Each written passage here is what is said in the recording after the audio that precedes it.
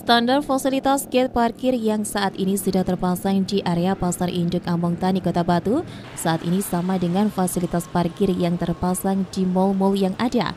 Hal ini mulai dari sistem dan fungsi yang digunakan juga memakai sistem yang sama. Head of Service and Operation PT Multidaya Dinamika Boni Agus Arianto menjelaskan bahwa nantinya pelanggan yang akan masuk harus tap tombol untuk mengambil tiket parkir yang selanjutnya akan diserahkan di pos keluar untuk verifikasi pembayaran, di mana dihitung berapa lamanya kendaraan tersebut parkir. Tetapi nantinya tarif parkir sendiri kembali kepada kebijakan pengelola. Salah satu yang khusus yaitu adanya gate yang bisa digunakan baik oleh mobil maupun motor.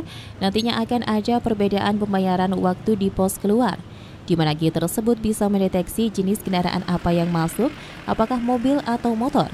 Selain itu, ke depan sendiri pembayaran retribusi parkir di Pasar Induk Among Tani bisa terintegrasi dengan sistem pembayaran online. Salah satu contohnya yaitu melalui QRIS, nantinya pengadaannya masih menunggu dari pihak pengelola pasar sendiri.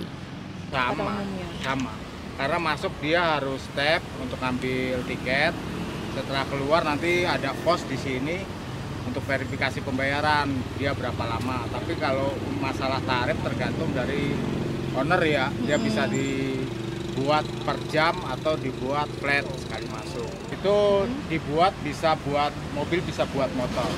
Jadi motor bisa lewat situ mobil dengan lewat situ. Nanti e, pembayarannya di luar tiketnya berbeda.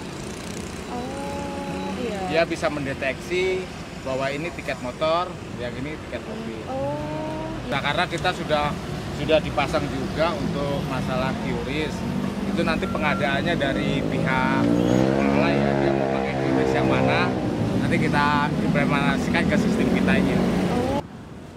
Dari Kota Batu, Abraham Patrika ATV melaporkan.